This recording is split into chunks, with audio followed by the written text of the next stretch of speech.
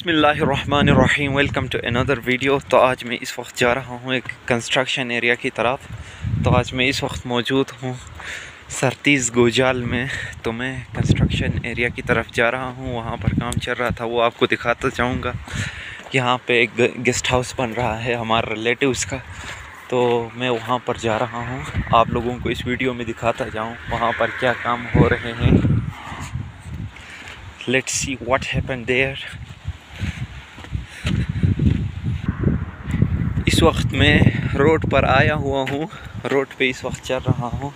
उधर पीछे कंस्ट्रक्शन का काम चल रहा है तो मैं वहाँ पर जा रहा हूँ इस वक्त। उधर पीछे इस वक्त एक गेस्ट हाउस बन रहा था हमारे रिलेटिव्स का। तो मैं उधर तो मैं इस वक्त रोड क्रॉस कर रहा हूँ, नीचे साइड पे है वो गेस्ट हाउस अभी अंडर कंस्ट्रक्शन में है, वो एरिया कंस्ट्रक्शन के मराहल से गुज़र रहा है। ये ऊपर वाला जो ग्रीनरी वाला जगह है, ये सरतीस गाँव है बाकी। वो उस साइड में आप देख सकते हैं, वो वाला साइड है जी खुदाबाद।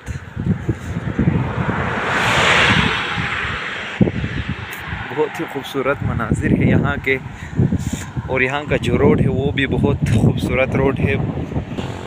आप इस वक्त देख सकते हैं, ये जो टूरिस्ट है, वो अब वो लोग खुनचराब टोप की तरफ़ जा रहे हैं। मैं सुस्त के बिल्कुल ही करीब हूँ यहाँ पे। ये गाँव सुस्त के बहुत ही करीब है। सुबह सुबह ये लोग खुनचराब टोप की तरफ़ जाते हैं। ये जो टूरिस्ट है वो लोग चाइना बॉर्डर को देखने के लिए आ रहे हैं डिफरेंट जगहों से, पाकिस्तान के डिफरेंट एरियाज़ से। और जो फॉरेन टूरिस्ट है वो भी यहाँ पर विज़िट करते हैं।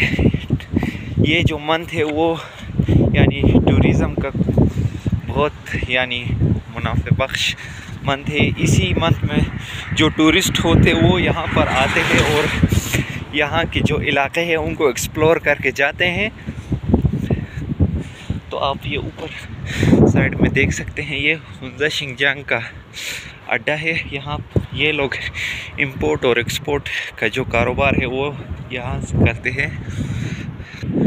यहाँ पर आप इनके बड़े बड़े कंटेनर्स देख सकते हैं वहाँ ऊपर। ये लोग जो चाइना से जो माल इंपोर्ट होके यहाँ पर आता है, उसको पाकिस्तानी ट्रक्स में अनलोड करके देन उन ट्रक्स को गवादर तक ले जाते हैं। और ये रहा गेस्ट हाउस जिसकी मैं बात कर रहा था।